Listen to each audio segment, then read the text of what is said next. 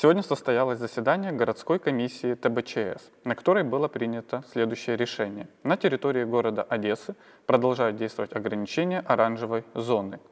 Дополнительно добавляются ограничения карантина выходного дня, а именно запрещена работа заведений общественного питания, кроме предприятий, которые работают на вынос работа торгово-развлекательных центров, работа других учреждений развлекательной деятельности, работа предприятий торгово-бытового обслуживания населения, кроме предприятий, которые осуществляют торговлю продуктами питания, АЗС, аптеки, зоомагазины и ветеринарные клиники.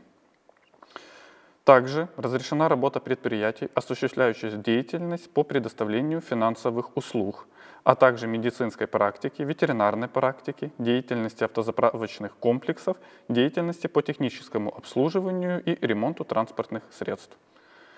Также напоминаем о необходимости соблюдения масочного режима в общественных местах и транспорте.